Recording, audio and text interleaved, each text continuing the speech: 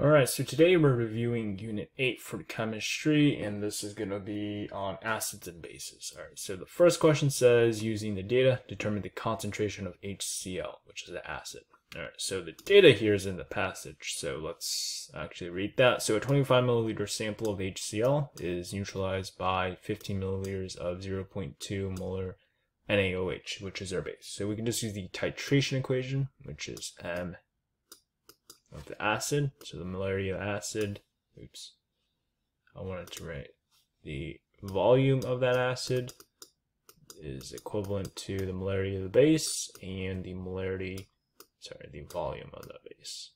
So we already know the molarity of the base, which is 0.2, and we know the volume of the base, which is 15 milliliters, and we know the volume of the acid, which is 25 milliliters. So all we have to do is just solve for the concentration, which is just the molarity of the acid.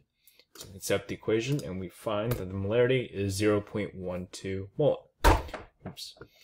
Based on the data, the calculated molarity of HCl should be expressed to what number of significant digits, so or figures. So for multiplication, how sig figs work is you're going to find the number of sig figs in each of the values that you calculate, and then you have to round to the one that is the least number of sig figs. So in our case, we have 25.1, uh, sorry, 25.0, which has three sig figs. And then we have 15.0, which is also has three sig figs. And then we have 0.20, which has two sig figs, right? Because when you're counting with a decimal from left to right, you don't negate the zero. And then once you reach two, that's just one and then two sig figs. So we have to round to two sig figs here, and so that is our answer for two. Number three, complete the equation for the neutralization reaction that occurs by writing a formula for each product. So what is the neutralization reaction? So a neutralization reaction is where an acid and a base come together to create water and a salt. And so water, we know, is just H2O, right? So the easy way to solve these problems is to just take out H2O. So we have the H from the HCl and then the other H and the oxygen from the NaOH. So we can just cross this out and make our first product, which is H2O.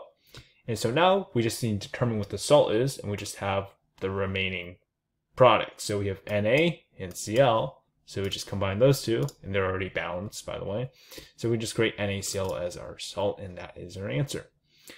Number four, identify the laboratory process described in this passage. So this passage, basically. Um, well, we kind of talked about this. We used the titration equation and talked about a neutralization reaction. Um, so can you guess? Yep, titration. Right, number five, say how many times greater the hydronium ion concentration in HCl uh, is than the hydronium ion concentration in whatever that is. So we're comparing a pH of 2 to a pH of 3, and we know that hydronium ions increase as you become more acidic, right? And we know that a pH of 2 is more acidic than a pH of 3 um, by a factor of 10 because it scales, right? So if we had a uh, difference between 2 and 4 in terms of pH, that would be a difference of 100. Uh, but in our case, the difference between 2 and 3 is just 10. And so the hydronium ion concentration also has a factor difference of 10.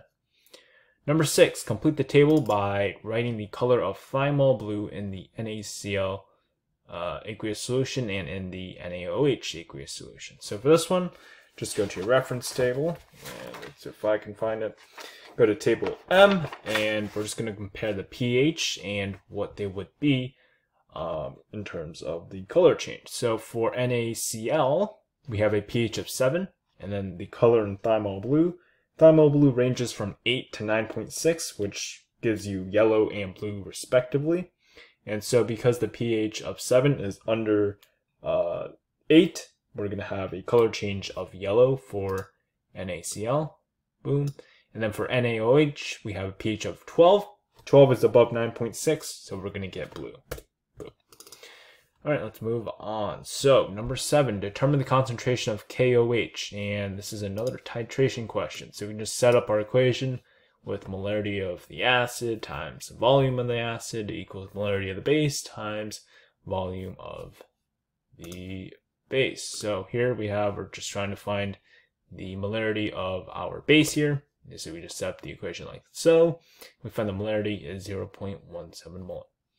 Number eight, compare the number of moles of uh, H plus aqueous ions to the number of moles of OH minus ions in the titration mixture when the HCl aqueous is exactly neutralized by KOH.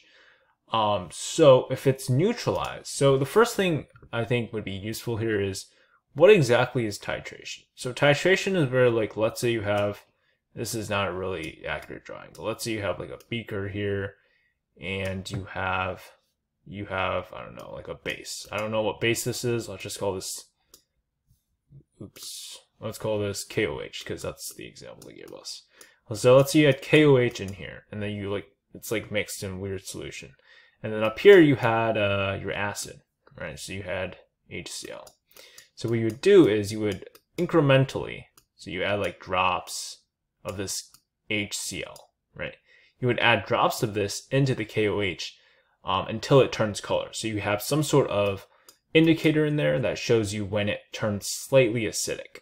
And so when it just turns slightly acidic, remember it starts as a base, then the difference in between how much uh, HCl you use or how much acid you, you use uh, will tell you a lot about either the molarity of the solutions or in our case, the uh, number of moles. And so if it just turns uh, acidic, you're trying to get it to not turn acidic, to be honest. You're just trying to neutralize it. You're trying to strike a balance at a pH of 7. So if you strike a balance at a pH of 7, that is where you have a balance actually of H plus ions and OH minus ions. And so in our case, it would be, oops, I keep clicking the equal sign, they would be equal. I feel like this titration thing right here, this was kind of irrelevant for this question, but whatever.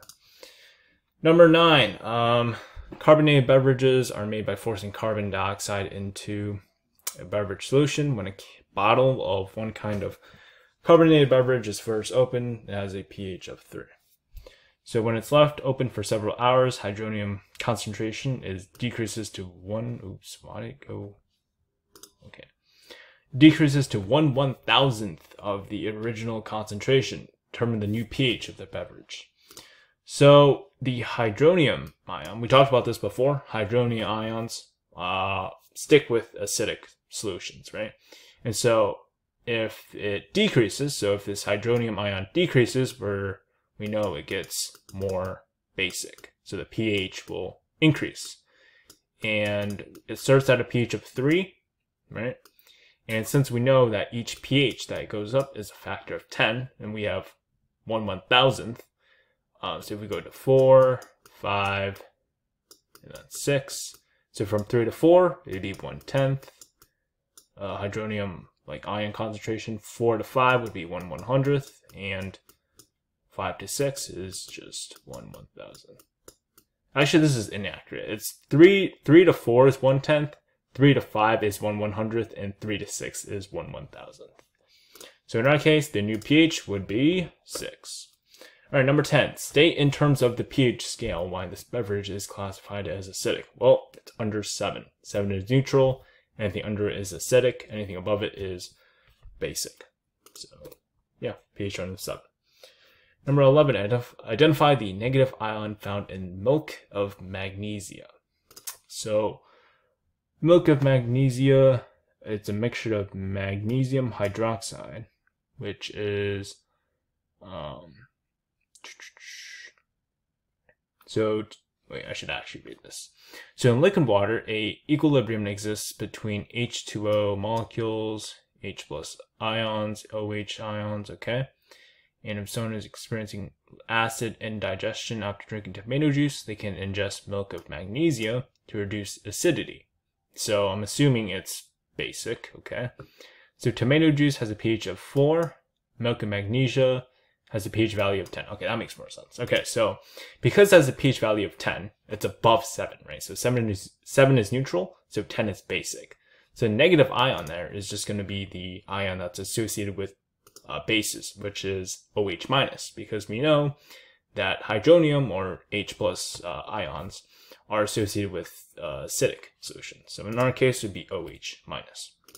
All right, number 12. compare the hydrogen ion concentration in tomato juice to the hydrogen ion concentration in milk of magnesia. So tomato juice is obviously more acidic. Um, so because we're talking about hydrogen ion concentration, hydrogen ions are more concentrated in acids than bases. So boom, tomato juice has a greater hydrogen ion concentration. So yeah, that does it for the review of Unit 8 of Chemistry. If you guys learned something, uh, make sure you subscribe and thank you for watching.